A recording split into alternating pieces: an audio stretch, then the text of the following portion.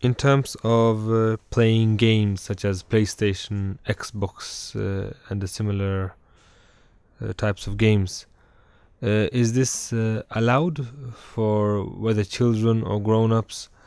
And if it is allowed, are there any guidelines for what kind of games they should play, or is it like free? You can play, play whatever games you want, and uh, that's if it's allowed or not. And the second part would be, is it recommended?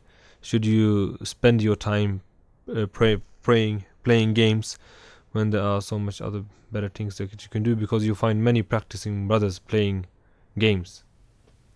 Yeah. Okay. Bismillah ar-Rahman ar-Rahim. Alhamdulillah wa salatu wa salam ala Rasulillah. Playing games in of itself is a permissible act. Sometimes it can be good and you will be rewarded for it, and sometimes you can be sinful. It depends on when, why, and how, and what. Okay? Depends on the these basic questions.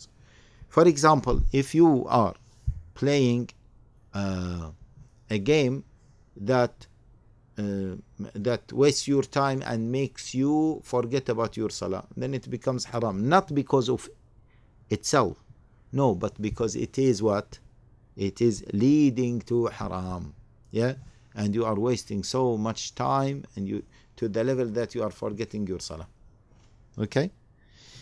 Uh, if the game has maybe pictures of w- women wearing reveal clothes, like there are some games, طيب, then it is haram from this angle, not in of itself. Okay?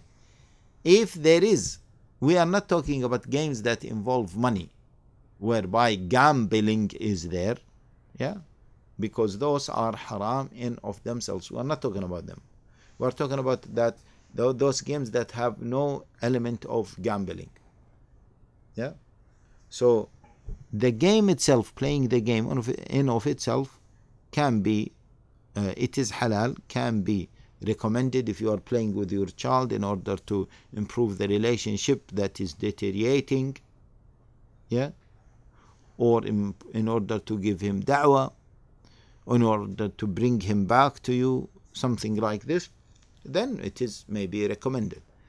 If it is leading to haram, such as you are wasting a lot of time, you are losing your salah, you are losing other obligations, then it tends to be haram. Okay, this is the general guideline. Now, there are some elements, um, other elements of haram in music, uh, sorry, in, in games, music and women were women okay? So you should avoid those games that have music and women. And that's it inshallah